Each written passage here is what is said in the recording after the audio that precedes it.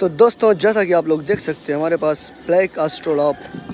चूँकि अंडा देने वाली एक माहिर बर्ड होती है उसके भी चूजे अवेलेबल हैं सोनाली मुर्गी के चूजे और सभी प्रकार के मुर्गी के चूजे हमारे पास अवेलेबल हैं तो जिस किसी भाई को देसी मुर्गी का चूजा लेना है वो फटाफट संपर्क कर सकता है नंबर स्क्रीन पर